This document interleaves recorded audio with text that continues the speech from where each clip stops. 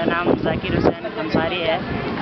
मैं ये कहना चाहता हूँ कि जैसे हम लोग लकड़ी वगैरह जो खर्च करते हैं, ये फजूल खर्च करते हैं लिमिट से ज़्यादा खर्चा करते हैं।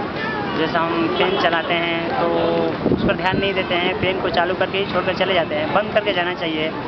या जो मैं खर्च करते हैं अमाउंट महीने में मुझे इतने अमाउंट खर्चे होना चाहिए, उससे फजूल खर्च करते हैं, वो लिमिट से ज़्यादा हो जाता है। तो ये हमारे आने वाले बच्चों के लिए नुकसान है। साले हम सब चोर हो, अपने बच्चों के